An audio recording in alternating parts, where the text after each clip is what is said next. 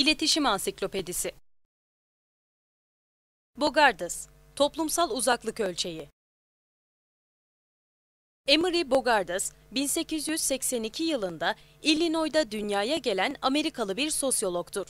Chicago Üniversitesi'nde doktora ünvanı aldıktan sonra Kaliforniya'ya taşınmış ve yardımcı doçent olarak çalışmaya başlamıştır. Bogardas, Chicago'da özellikle ilgilendiği uygulamalı psikolojinin sosyoloji alanında çalışma imkanı bulmuştur. Amerikan Sosyoloji Cemiyeti'nin 21. başkanı olmuştur.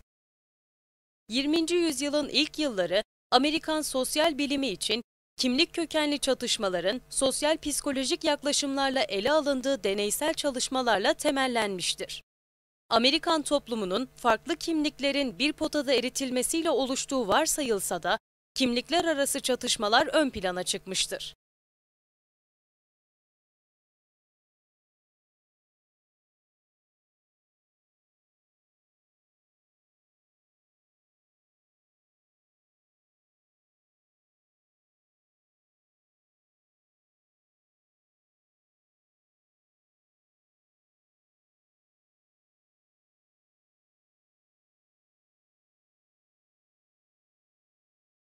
Sencer'in ifadesiyle Bogardas, özellikle çeşitli etnik kümelere karşı tutumları ölçmek amacıyla bugün klasikleşmiş sayılan bir teknik geliştirmiştir. Toplumsal uzaklık ölçeği olarak adlandırılan bu ölçek, herhangi bir kümenin toplumsal bakımdan benimsenme düzeyini ölçmek üzere bir ön sınamadan geçirilmeden seçilmiş kimi maddelerden oluşmuştur. Bu maddeler çok yakın bir toplumsal ilişkiyi benimseme eğiliminden, en uzak bir toplumsal ilişkiden bile kaçınma eğilimine doğru sistematik bir düzen içinde sıralanmıştır. Ölçekte yakından uzağa sıralanmış 7 ifadeye katılma düzeyi araştırmaya katılanlara sorulmaktadır.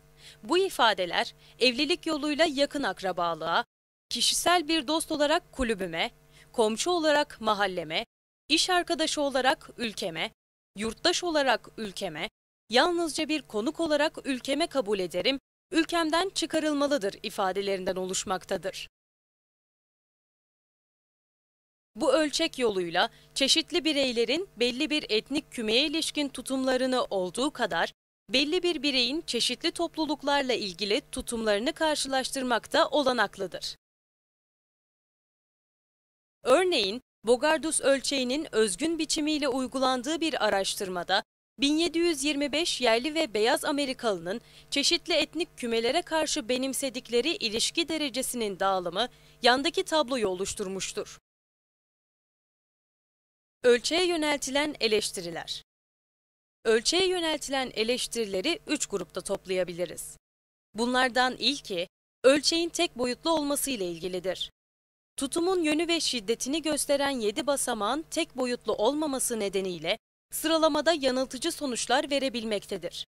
Örneğin komşuluk, özel alan ilişkisi iken, iş arkadaşlığı kamusal alanda bir ilişkidir. Eleştirilerden ikincisi ise ifadeler arasında eşit aralık sorunudur.